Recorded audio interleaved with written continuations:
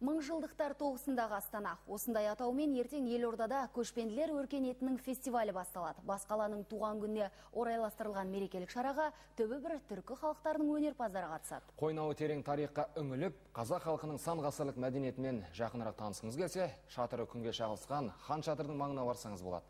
Түнде түнге қосып, таңды таңға жалғар мерекелік шаралардың бұл басы ғана.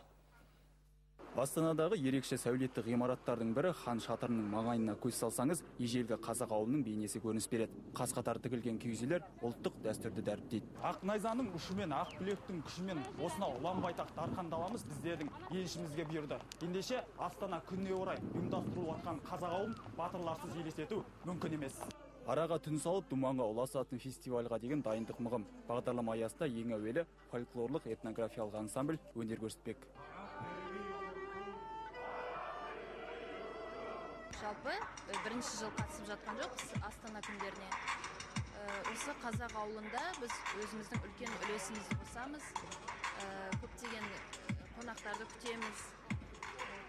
Біздің программада қазақтың күйлері түрік халықтарының күйлері әндері соны нақыштаумен боламыз. Бұл шара дәстүрімізді жаңғыртудың бір үлгісі. Қазақтың атын әлемге әйгілеуге деген ұмтылыс. Себебі біздің ауылға ізгі ниетпен келген шетелдік қонақтар көшпенді өмірге өзі араласады. Мысалы бүркітті қолмен ұстап баптау әдісімен жақын танысуға болады. Мына көрмелеріне қатысып?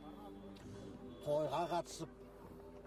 Ел көрсін ел үйренсін білсін деген мақсатпен құстарымды әкеп мың рет естігеннен бір рет көрген артық. Түркі халықтарының ежелгі киімдері би өнері айтыскер ақындардың сөз сайысы ұлттық ойындарда қонақтардың көңілінен шығары айдан анық. Ерболат төлегенұлы мақсат тастанбек қазақстан ұлттық телеарнасы.